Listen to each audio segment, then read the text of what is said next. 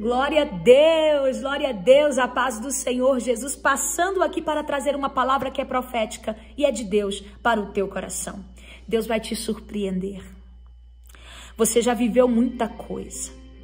E você olha para a tua própria história e pensa que vai terminar do jeito que está, que não tem mais chance de você ser feliz, que não há mais solução para sua casa, para sua família, que não tem salvação para alguém que você ama, mas a palavra do Senhor para você é: tá preparado para ser surpreendido? Eu sou Deus de resgate, eu sou Deus de libertação, sou Deus que opera o milagre, assim diz o Senhor.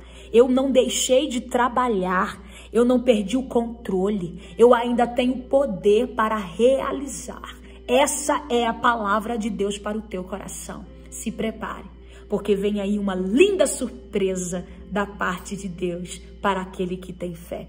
Você tem fé? Eu tenho vivido tantas surpresas da parte de Deus. E se você crê, eu sei que você também vai viver.